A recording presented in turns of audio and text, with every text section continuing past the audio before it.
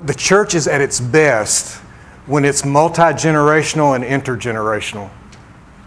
The church is at its best when it's multicultural and intercultural.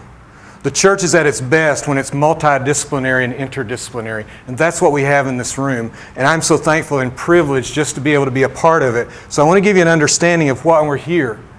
We're here in, in, in my mind, and I'm going to tell you my why, and, and Jana's going to talk about her why. And because,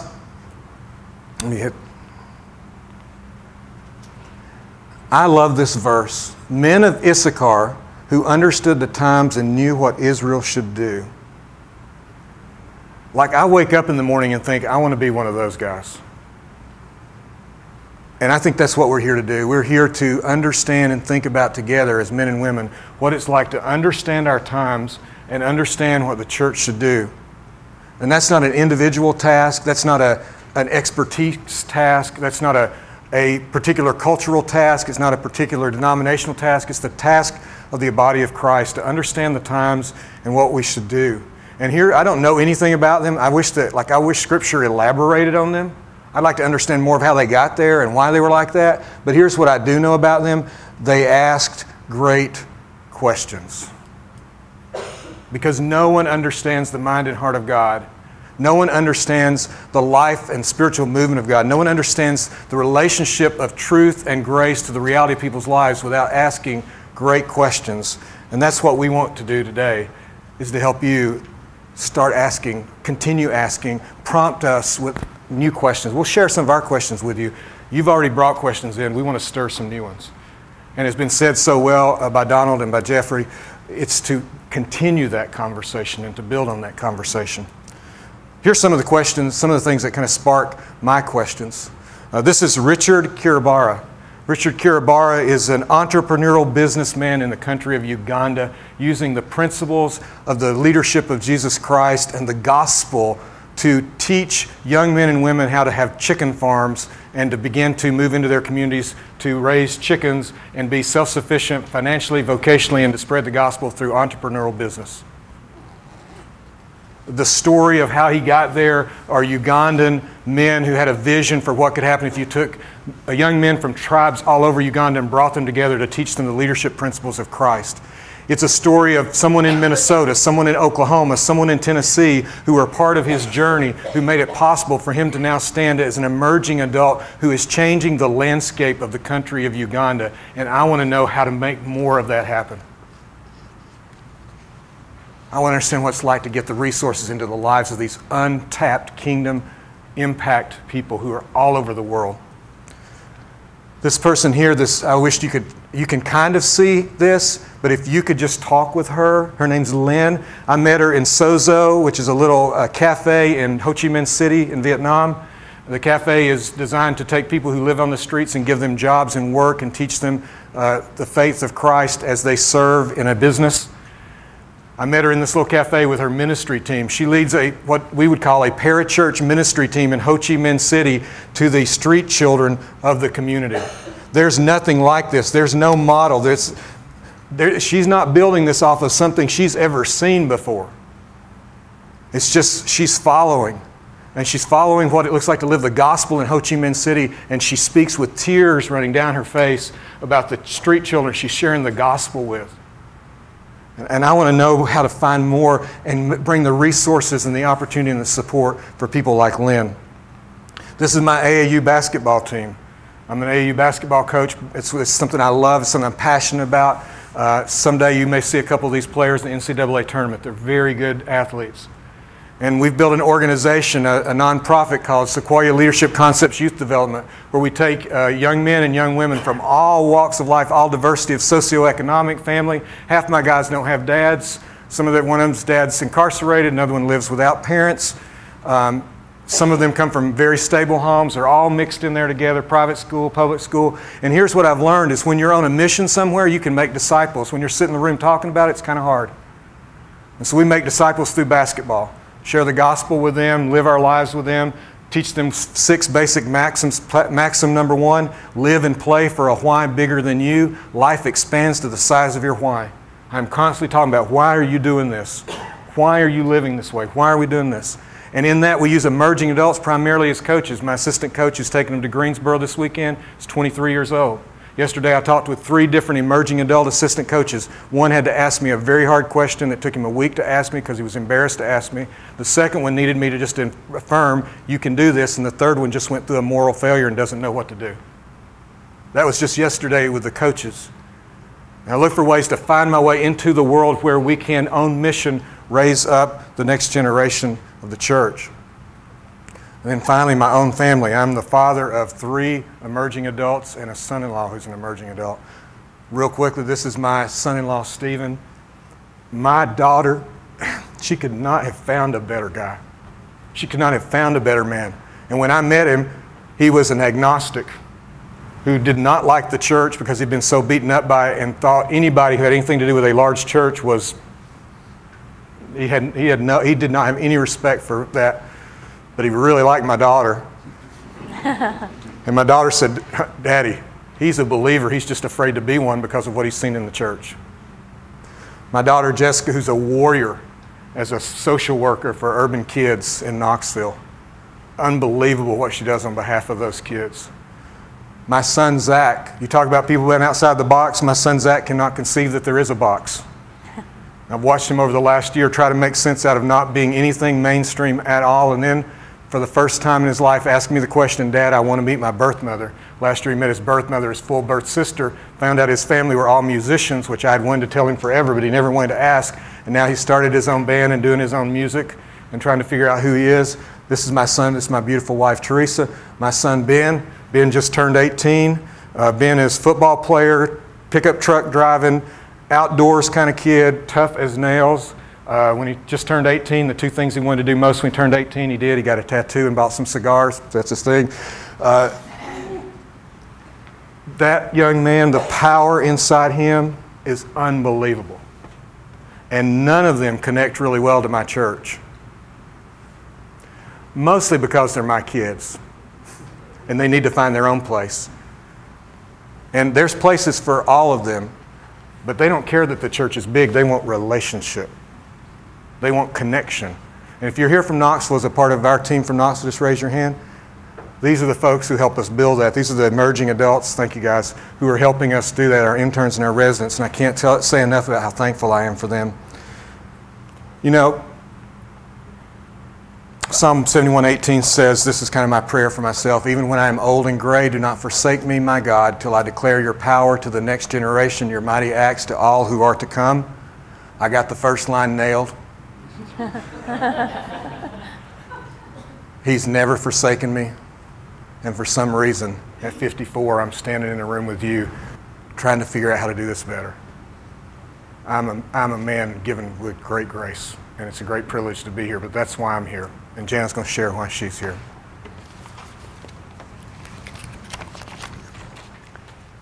Cooker. There you go.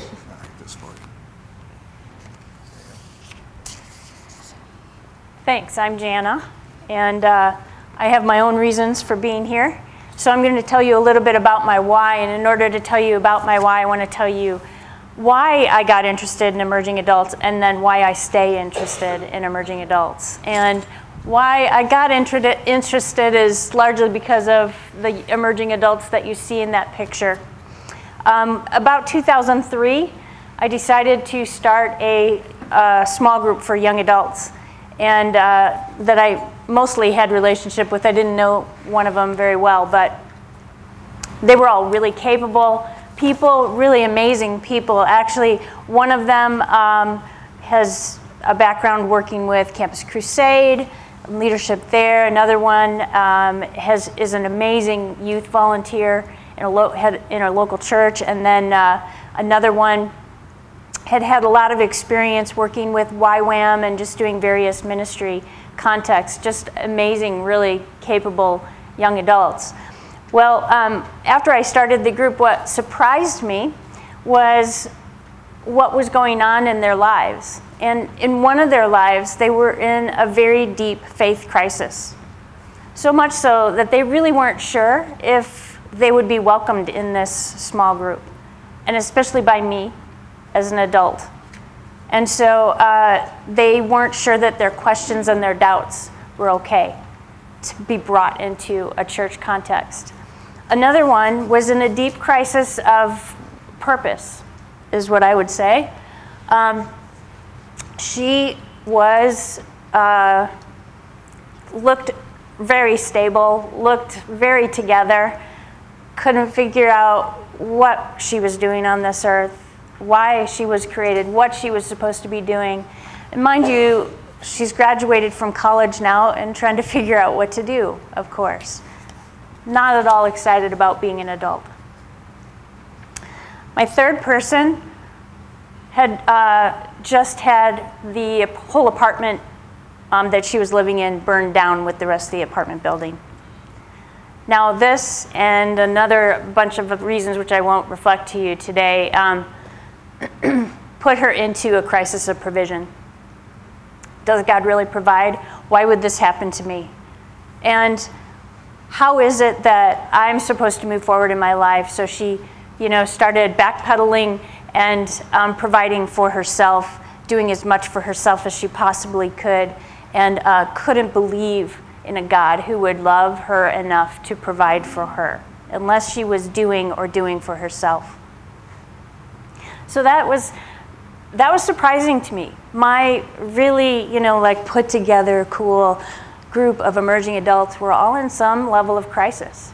And I, I kind of had to think, step back a minute and go, wait a minute, what's going on here? And so that propelled me into sort of a deeper look into what is going on in this generation of people because it was different than what I had experienced.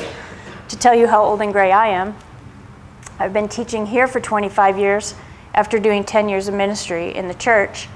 And um, this was a shift in what I'd been seeing in the young adults that I'd been with for the last 30 years. Especially the part of none of them were really excited about being adults because I don't know when I was growing up, it was like you couldn't wait to be an adult. That was what you lived for, you know? Everything was like, adult, I get to make this choice, I get to vote, I get to drive, you know. And, and uh, these people were not very excited at all about that. So uh, that's what got me interested. This is what keeps me interested. I have a steady stream of emerging adults that come into my office um, throughout the year. And uh, I teach classes of young adults where I see and I hear the desperation and the confusion um, and the questions that they have. But just for an example of one place I see a crisis pretty regularly, is I had a young man come into my office the other day because he was really, uh, he, he, he needed some help is what he told me. He needed some uh, advice or assistance from me. And I said, What's going on? And found out that um, a close friend of the family, it was a, actually a friend of his sister's, had just uh, frozen to death, died, and frozen, gotten into a fight with her parents, went out into the freezing weather, got hypothermia, and died. So I assumed, oh, he needs help grieving. Well, of course, he's grieving. But what he wanted help with, what he, where he felt the most salient sense of need, was he said, Could you just help me figure out how to write a good post on Facebook that I can share with the father of this girl, who's our family friend? Oh, I thought, oh, okay. You don't even, um, it doesn't even click with you that the thing a person needs most is your presence or your care and not a Facebook post. But that's all he knew to do at that point. And so there's a crisis of connection um, that I'm seeing in, in young adults, as, as well as these other things, as well as a lot of other things we'll talk about this morning. But what I, what I saw and what I see is I see a generation that's like sheep without a shepherd in many ways harassed, in many ways helpless. And in the midst of that, I hear the call that Jesus gave to uh, Peter in John 21 when he said, Feed my sheep, nurture my sheep. And I personally sense uh, my own calling to nurture this generation, to feed this generation. So, okay, what are we talking about when we are talking about this stage of life or this generation? Might be helpful. Now, Rick and I are not trying to put up a new definition of emerging adulthood. We're just trying to gather some of our thoughts here. So, this is just sort of a, a beginning stab at some of how we have put shape around this stage of life. Um, so, a stage of life encompassing the ages of 18 to 35, marked by critical challenges in the 21st century, like a reticence to and difficulty in establishing themselves in regard to adult responsibilities. Uh, I saw a study that said that a, th- a third of emerging adults would say, if I had my way, I would never become an adult. well, they're going to, so that's, that's going to be tough. Um, so a reticence there, and then a scarcity of resources globally and locally, and Rick will talk more about what that means. And then often living life with a prolonged sense of flexibility and spontaneity, and focused on exploring their options or their identity. Uh, so a very fluid, very flexible, very exploratory kind of life, which, you know, nothing up here is meant to be good or bad. We're just trying to describe a little bit about what's going on. So Rick's going to take us into uh, our first lens, the uh, lens of, oh, no, sorry, I have one more job to do before we get to that. Um, your job, which is your job, um, your job today will be to come up with a question. We're going to be kind of content heavy today. And so, not today, but this session. And so, uh, we're going to ask that you come up with a question of your own that you can kind of bring into and explore at the end of this. So we wanted, to be fair, we wanted to put up just a few of our own questions um, because if we give you the task, we ought to do the task ourselves. So we have just four questions here that uh, are either conceptual or practical. And your questions can be conceptual or practical, theoretical, whatever you want them to be. So we just wanted to give you a peek at them before we have Rick come up and give the next lens uh, biblical or theological foundations.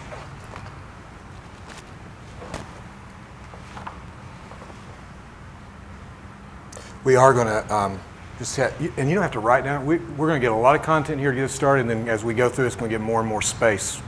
Um, so, but you're going to have access to these slides, so don't be like feeling like you're a, like a very detailed kind of person, which I'm not, and you want to take all the notes, we'll give them to you, so you don't have to worry about that. And if you're not a detailed person like me, you never thought of that question, so it's okay.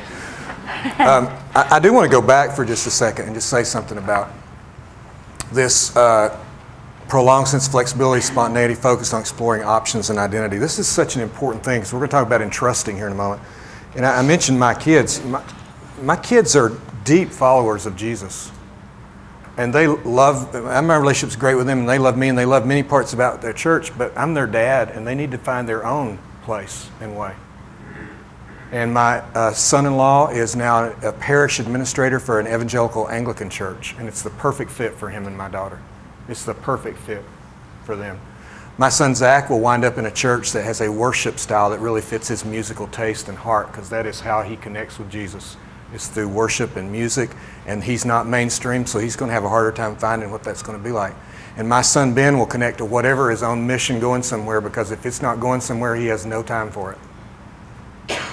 I think he may circle back around with us one day because of the mission that we're on. But, but this is the reality of the emerging adult, and, and the, the path forward is not as clear as it used to be. And the options are, are um, are multiple, but they also can be very, very scary. And what I want to talk about is before we get into those parts of it, is just thinking from more of a theologically, developmentally um, lens and, and, kind of getting a big picture. And, and my apologies, this is going to be a fast, quick overview. I'm not going to spend a lot of time on it. I'm just going to give you the way we frame it, the way we think about it. Uh, this is a pic, the first picture taken from the moon looking back at the Earth. And I heard a, an astrophysicist on NPR this last week describing how this changed the world of how, changed forever how people thought about the Earth and the universe. Because for the first time, instead of just kind of being in your local place or maybe even kind of orbiting outside of it, you're actually seeing where the Earth fits in the broader universe and you get a bigger picture of what's really going on here. And this is what our theology and our understanding of Scripture do for us to understand the bigger picture of the kingdom of God. Because if you work in a local church or you're in an academic setting, it is so easy to become myopically focused on your deal, making your thing work, and thinking that the center of the universe is you getting your thing done well. And forget that you're a part of a much, much bigger story. And so I want to give you four values, four things that are kind of at the heart of how we think about ministry in general, but particularly as we approach uh, emerging adults. Number one, the gospel and disciple making, a church of seekers. Um, for years, for instance, Willow Creek did us such a gift in the, in, the, in the church to help us think about reaching lost people for Jesus. And in, in its early stages and generations, Willow Creek gave us a model of how you could start to really care about lost people, not just the people who come to your church. What a gift, what a vision, what a heart, what an impact they've had on the church around the world. And what I want to say as we move forward is I want to see the language change, though, from a church for seekers to a church of seekers. And what I mean by that is we need the people of God to turn into seekers, to go seek and save those who are lost with our Lord Jesus. That's who he was, that's what he did. The Son of Man did not come to be served, but to serve and to give his life as a ransom for many. And as we think about the emerging church, and the, the uh, emerging adult generation in our churches, I am convinced we must get away from the church as the central reality of spiritual life and the church as the gathering of people who are following Jesus, who then take this spiritual reality of their lives into their communities where lost people live. To be on mission. We'll talk more about that later in the day, but that's the theology and the basis behind that. Second of all, the gospel and disciple making is about story and glory. We've got to move from expertise to empowerment. We've got to move from professionalization to the people of God. And training is important, uh, learning is important, but at the end of the day, the people who carry the gospel into the world don't go to seminary and they're not pastors.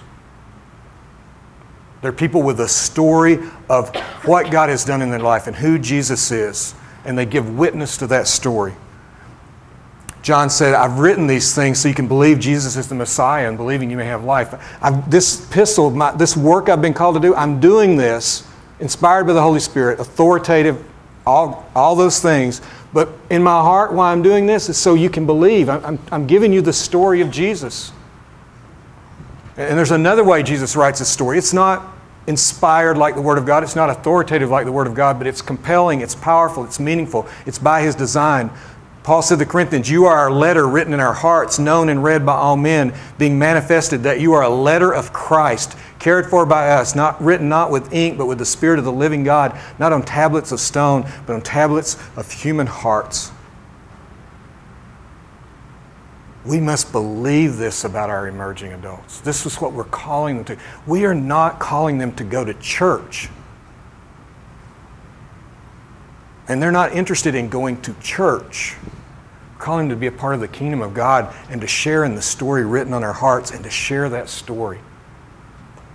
And I love the term missional. It's, it's powerful. I like the way Alan Hirsch has, has contrasted attractional and missional for those of you in that vein. But I think, honestly, we could shell both those words and just talk about making disciples. Just make disciples. If that's your key, you will redo how you do church because it will be about making disciples, not about building the institution of the church. And that story is to His glory.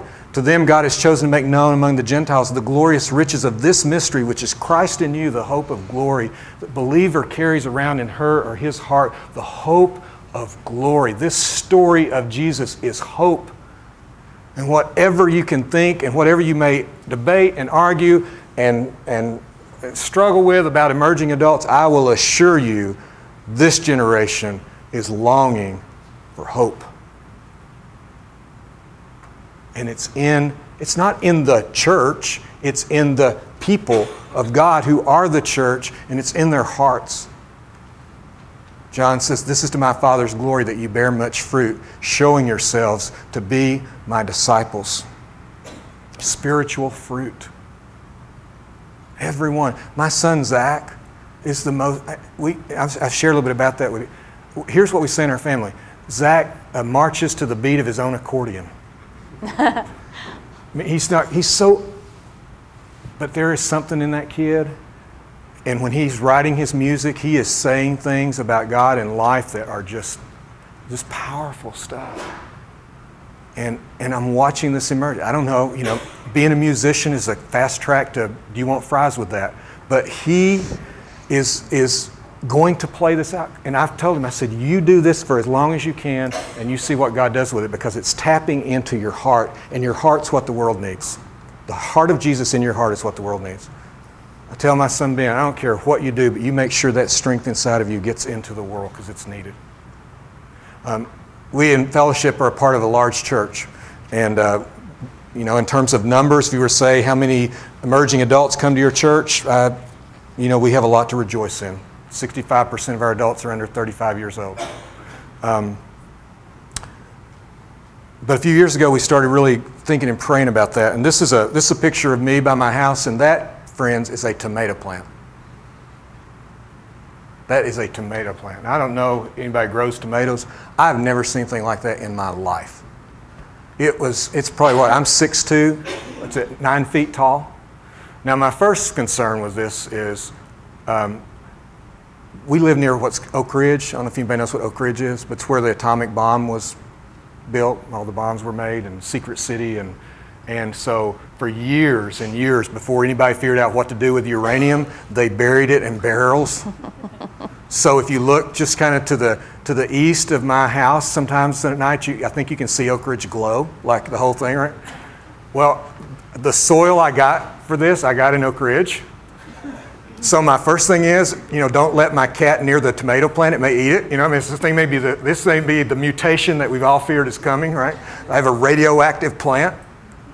And I thought, man, if it, the tomatoes off of it are probably like glow in the dark, which is really cool. Except for one problem. It didn't grow tomatoes. There, there, there's like this little plant right here, this got tomato. I, I, there's a couple of blossoms. You can't find a tomato on this. I don't know what's wrong with this plant. like, my wife's a therapist. She might be able to figure it out. I don't know what's wrong with the plant. But here's what I do know the thing is nine feet tall and doesn't grow tomatoes.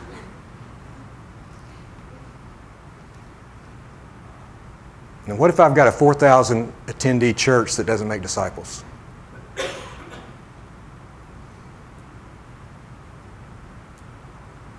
If it's about spiritual fruit, it's not about how many people come. Jesus is not going to ask me, hey, Rick, how many emerging adults did you attract to your church? He's going to say, Rick, when all of them came, did you build your ego off of them? Or did you do the hard work of making disciples so that their story could be told to the glory of God? So that my story in their lives could be told. Third, the gospel and disciple making is about entrusting to new generations.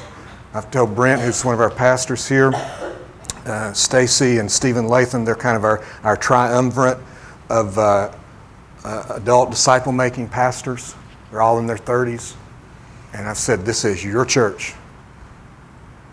I'm leading it. I'll be, I'm all about it. I'm not going anywhere. I'm not disengaged. But you have to understand, I can't figure out what needs to happen next in this church. That's your role. I am here to support you, empower you, lead you, hold you accountable to the values and the gospel and the things that I should do as a leader and cast vision. But I'm telling you, you all are going to have to figure this thing out. And Brent has been a courageous warrior for us to try to learn how to do ministry in different ways. And it's taken a lot of hits because when we started changing the way we were doing our emerging adult ministry for more disciple making, a lot of them just left because a lot of them they were there for the show and it was comfortable.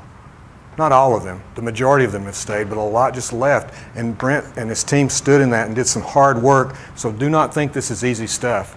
And if you're not compelled by the gospel, by theological biblical vision, you will not follow through on those things. Paul said, The things you've heard me say in the presence of many witnesses, and trust a reliable people who will also be qualified to teach others a four generational vision of disciple making. This is Jose Antonio Abreu you should go on YouTube and get his TED Talk. He's a Venezuelan musician.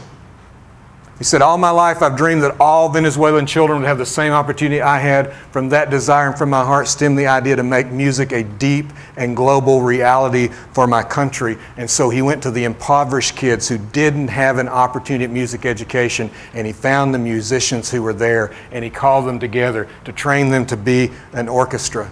He said, I received a donation of 50 music stands to be used by 100 boys in that rehearsal. When I arrived at the rehearsal, only 11 kids had shown up, and I said to myself, Do I close the program or multiply these kids? I decided to face the challenge on that same night. I promised these 11 children I'd turn our orchestra into one of the leading orchestras in the world. 11 impoverished kids, and he said, Let's multiply them. Does this sound familiar to anything you've ever heard before? and they are considered one of the great orchestras in the world. And finally, Christ's life in the world. Jesus said, My prayer is not that you take them out of the world, but that you protect them from the evil one, I and them, and you and me, so that they may be brought to complete unity. Then the world will know that you sent me and have loved them even as you have loved me. 2 Corinthians, all this is from God who reconciled us to himself and gave us the ministry of reconciliation.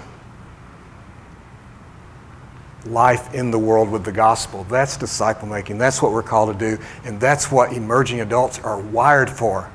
They're not wired for our institutional churches. Praise God. Is it frustrating and hard for people who lead them? Yeah. Is it difficult and challenging to figure things out? Yeah. Is it hard to figure out what the educational system is going to look like in the future because they don't like institutions? Absolutely it is. And you know what it forces you to do? To ask yourself, why are we doing this? And how do we rethink, reimagine, re envision what the gospel might mean and what the gospel could be in this generation? Emerging adults are not a problem, they are a gift. To shake people like me up and remind us of the gospel and that in every generation, in every culture, it is the power of God for salvation. That's the gift of emerging adults. But we have to engage them for who they really are. And Jana's going to come and talk about that. There we go. Clicker. I'll always take the clicker from you. I'm so sorry. There you go. He's so selfish. So, what is going on developmentally that's feeding into what we're seeing as far as how emerging adults are relating to the church or to different institutions? And I think there's some things that we know from sociology, from uh, biology, from uh, lots of different fields that can inform us a little bit about that. And so, the first thing I have up here is that the journey of development uh, that an emerging adult is in is longer than previously understood. Okay, so um, we thought that the brain was largely developed by age 18. And then brain research comes out and says, no, actually, uh, it's not 18. It's more like 26, 25 or 26. So, uh, it, you know, Rick and I the other night um, met over dinner and went through all of our stuff, and I wish you could have been for that conversation, although that would have made today really long. But um, he was telling me that what that means for him is that his he's because he's told you he has three emerging adults is that the three things he most often says to his children are i love you i'm so glad that i'm your dad and why did you do that so that frontal cortex is the major decision making part of the brain, and that's still developing. So I, I don't know all of what this means as far as how is this shaping then our perception as those that work with adults, those of us that are beyond 26, what does that do for our conception of the emerging adults amongst us? What does it do for their conception of themselves? I don't know all of what that means, but I do know that uh, brain research tells us that it's longer than previous previously uh, um, known or understood. But then I'm changing the word here to experienced because not only is it longer than we knew it was, you know, just brain research wise, but also because of many things that experience of young adulthood has changed. And economics is certainly a big part of it. This is the chart right here is uh, showing you, I mean, you could tell the, what happened in our country in about 2008. Um, we had a big, big dip, and we're still trying to work out of it. So it goes up and then down and then up and then flat and then up and then, you know, economically, uh, this is our emerging adults are coming of age during that particular time, and the uh, economic realities have fostered more um, financial dependence for these young adults on their parents. Um, we see school co costing more, but at the same time, more schooling is required if you want a good job so that you can be out on your own. And so there's kind of an economic conundrum that these students are facing. Um, there's also a different shift in how we think about you know, our, our uh, level of financial stability or our level of financial comfort. And it used to be that if you were a young adult, you expected to go through sort of these lean years where you could barely afford anything except mac and cheese. And, uh, you know, you, you pretty much went to the resale store not because it was trendy, but because you had to. And now there seems to be more, culturally, there's more of a trend where you want to stay sort of at the same economic level from when you were growing up all the way into your adult life. And so that means parents are uh, providing more, and your sense of what you need has changed. So this quote is from a 2014 Pew Research um, study. And what, what I think is interesting is from the time that I started thinking and considering about emerging adults till now, uh, there's just been tons more research. So here's some more recent stuff. Millennials are the first in the modern era to have higher levels of student loan debt, poverty and unemployment, and lower levels of wealth and personal income than their two immediate predecessor generations had at the same age. So this isn't their only challenge. Um, also, longer than previously experienced because in a way our culture is teaching them not to settle down don't ever get settled with anything, and thank you, Steve Jobs, for letting us know that we should never be satisfied with our current device because the next big thing is coming. And we've got to have it. And I mean, it's not just him. You know, I've got Samsung up here to be fair.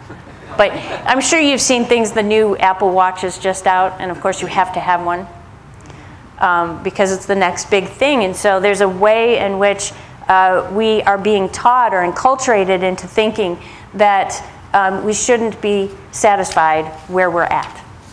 We should always be looking for the next big thing. And indeed, we find out that um, emerging adults between the ages of 18 and 30 are changing jobs between seven and eight times. So it's affecting more than just their economic life. We also see that it's being longer than previously uh, developed because, or experienced um, because of the way they're defining themselves. This Pew study also brought out, it used a phrase, unmoored from their institutions, that I thought was interesting. But what I have up here is a description of how they see themselves. And um, so at the top, supporter of gay rights is increased, a patriotic person has decreased, and a religious person is the one that's decreased the most. So from 61% in the silent generation to 36% in the millennial generation. So they don't see themselves as being people who go to church or people who are connected to churches. That's also affecting um, that I'm not settled anywhere and unmoored from institutions. It affects not just our physical institutions, but also things like the institution of marriage. Um, they're half as likely to be married as their parents at the same ages. And so 65% uh, at their age, down here all the way to 26% in 2013 for millennials. And that's just another place they're not feeling settled, they're not being settled.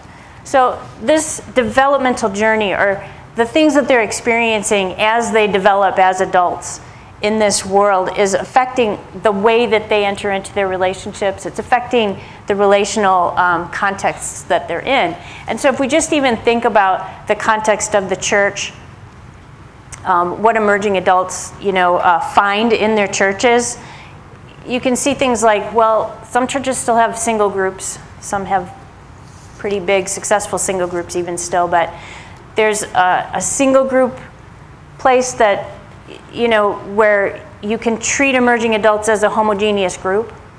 Okay, we're meeting our, home, our emerging adults because we've got a singles group. So we can just put them there. Or maybe sometimes churches are uh, treating them a little bit as cheap labor. Oh, they don't have a family, you know, and more and more of them don't have a family or aren't married longer and longer. So we've got more and more cheap labor. All right, cool. You know, we've got people, we got bodies we can put into our ministry positions that need help for volunteers, et cetera. Or sometimes the church may see them as um, just preoccupied by their education.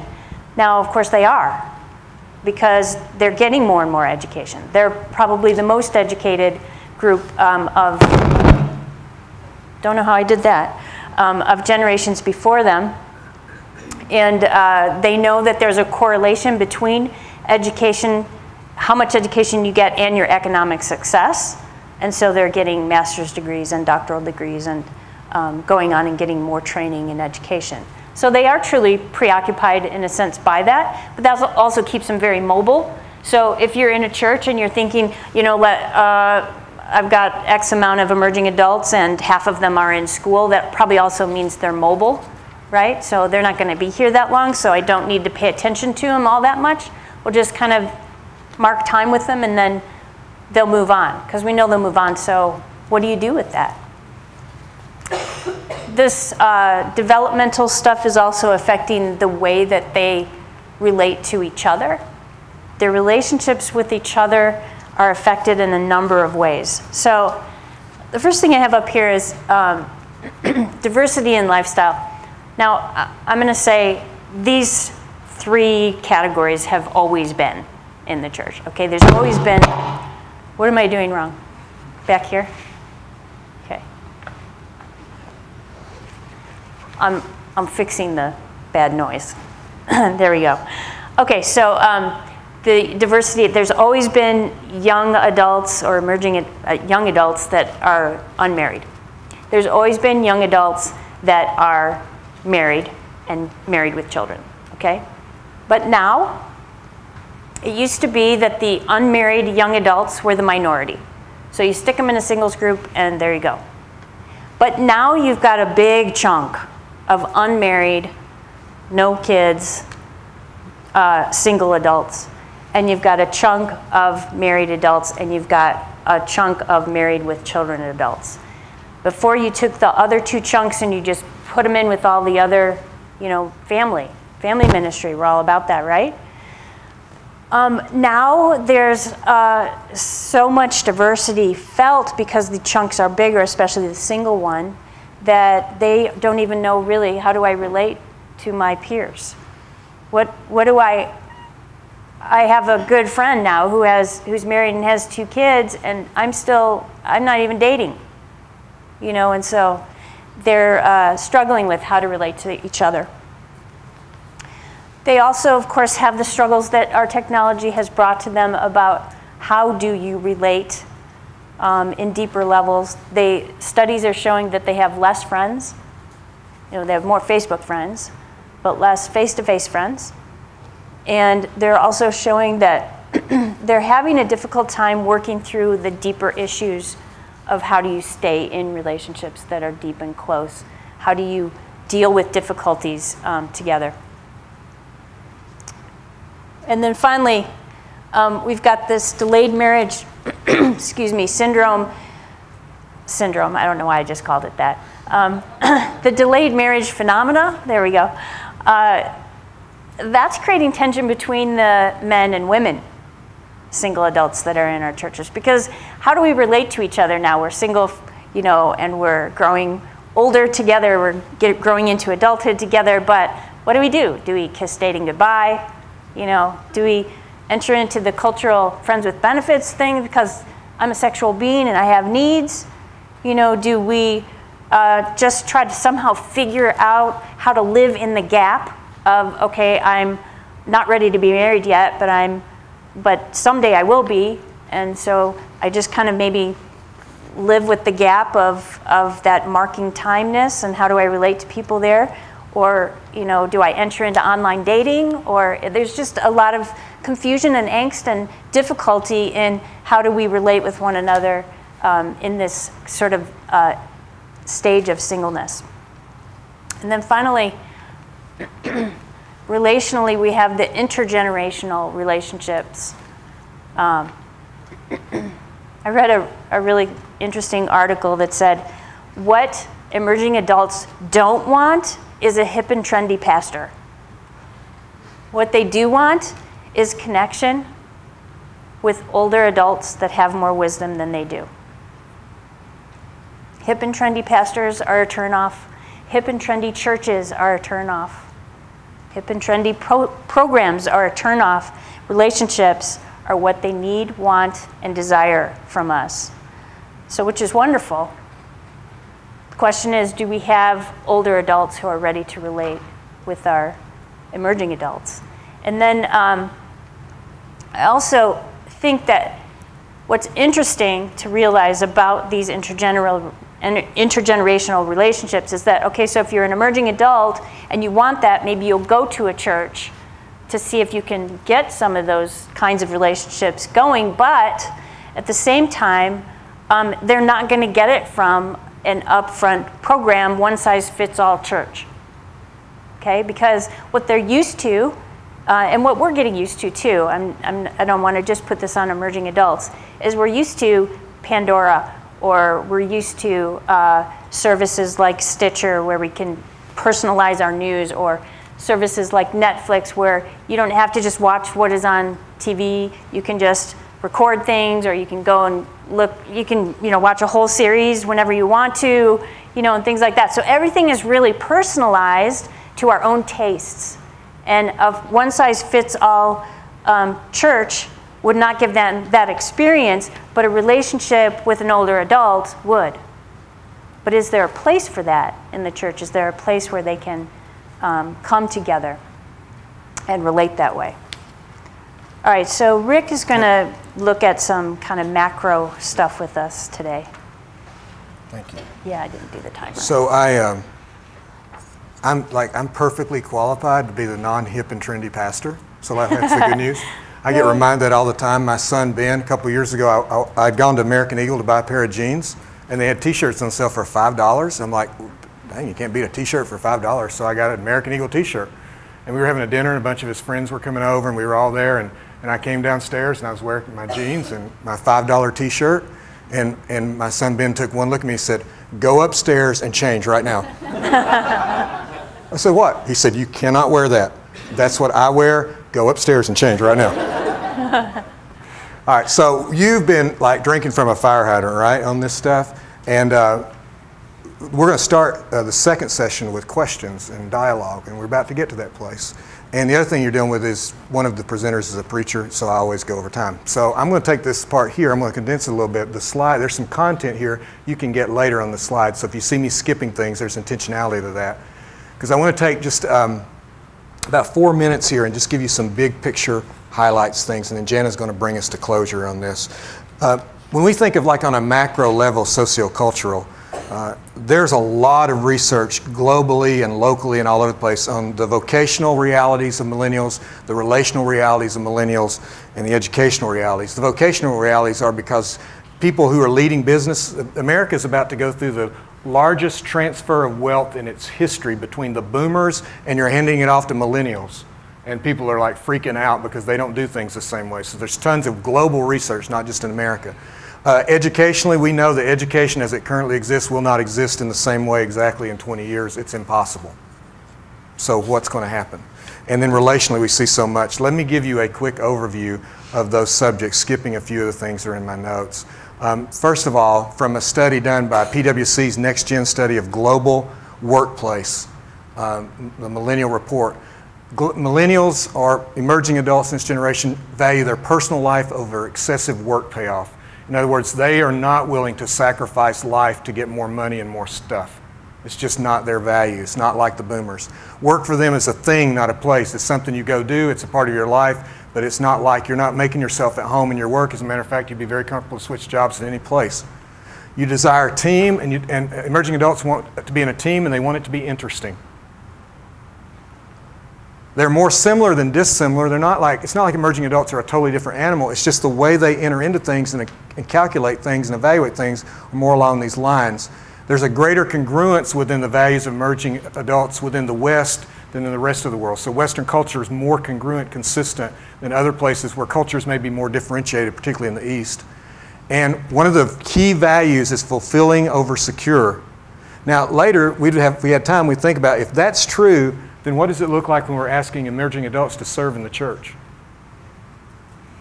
Because asking an adult, emerging adult to serve in the church is very different than asking a boomer or Gen X. This was a study uh, of frequency of terms, and from 1985 to 2005, this is where the use the term secure career could be found in the literature. And from 1985 to 2005, here's what the term a fulfilling career could be found in the literature.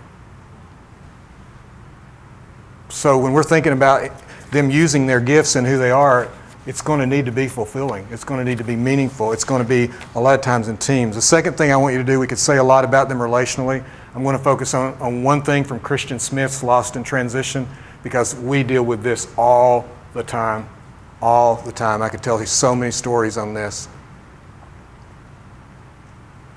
Emerging adults can jump into intimate relationships assuming that sex is another consumer item, relational thrill, or lifestyle commodity, but many of them soon discover the hard way that sex is much more profound and precious than that. They feel they have lost part of themselves that they cannot recover. Some have difficulty trusting in a new relationship. Others become indifferent or hardened to their own feelings or those of others.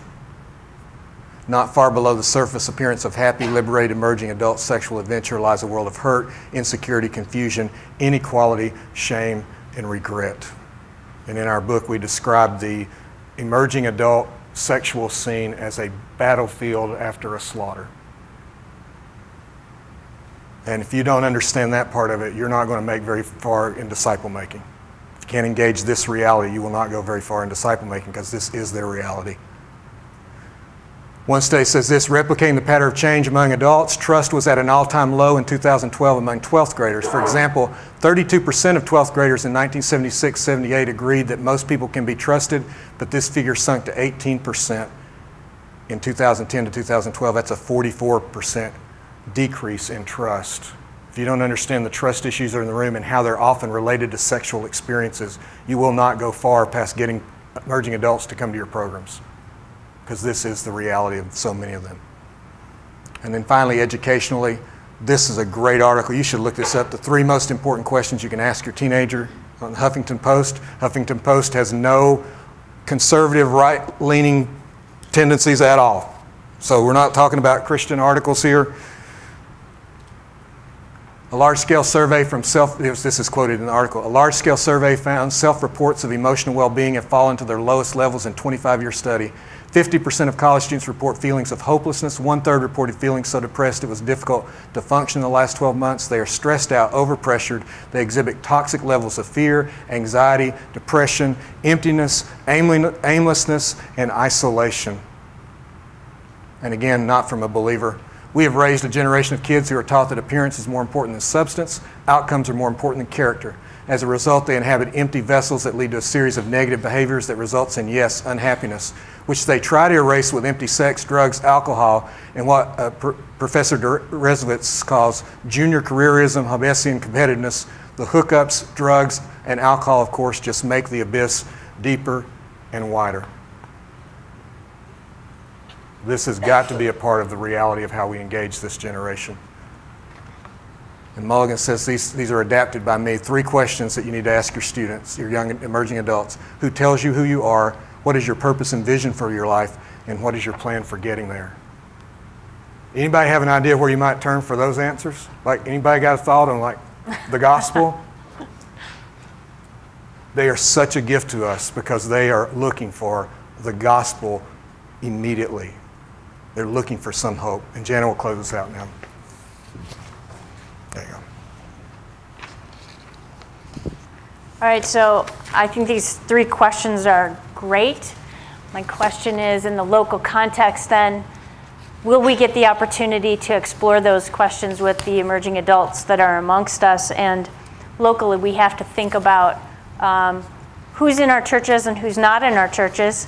Uh, we're seeing a drop in, in church attendance amongst millennials. You see, in fact, that two in 10 people under the age of 30 believe that attendance is important. That means eight in 10 believe it's not important. And um, one third of millennial adults take an anti anti church stance. Okay, so I feel like we've already alluded to this, but there's an intuitive allergic reaction to institutions in general. And um, church certainly falls into that and very much, you know, is a part of what we are, are dealing with. And so if we're going to reach beyond this allergic reaction, it's got to be relationally. It's got to be with relationships within the church where, that are intergenerational, that are authentic, that are face to face, and that can uh, break down some of what they feel allergic to. This is a quote from, a, from that article I mentioned earlier Millennials need a bigger God, not a hipper pastor. I think it's a great quote. Um, millennials have a dim view of church, they're skeptical of religion, yet they're thirsty for transcendence. When we portray God as a cosmic buddy, we lose them because they have enough friends. When we tell them that God will give them a better marriage and family, it's white noise because they're delaying marriage or kids. When we tell them they're special, we're merely echoing what educators, coaches, parents have told them their whole lives. But when we present a ravishing vision of a loving and holy God, it might just get their attention and capture their hearts as well. So, a dim view of church versus a ravishing vision of a big God who is transcendent, who loves them. Um, I feel like this can't just be a good preaching topic that we pursue. It's got to be a way that we live in close proximity. And uh, I, I recently we was at a conference in London, and this woman, Sarah Brush, was talking about development. She brought up the fact that development is a lot more like trees because they go through seasons and things like that. But she also talked about the idea of scaffolding, of uh, having um, support that's not too close so it doesn't squeeze out the life of that tree, but is around that tree in order to help give it shape as it moves into its maturity. Um, and I feel like that's what we've got to figure out as churches. We have to figure out these two things. How do we present a ravishing vision? How do we stay in close proximity to our emerging adults in the local church? So now comes the time where we're gonna we're gonna turn it over to you, and we'll turn it over to Don in just a second, and ask that you um, think about your own question. We're we're creating a Google Doc here where we can kind of gather all those questions. So if you have a device with you, please ask that question right on that Google Doc. And if you don't have a device, if you want to turn to somebody who does and say, "Could you put this question up for me?" That would be great. Rick and I are going to take a look at that uh, during this next little section and, and the break and hopefully uh, maybe address a few of them, but it's at least a way for us to gather some of our questions together. So thank you for your time and uh, over attention to, uh, I think we went a couple, 10 minutes over, so back to you. Thank you.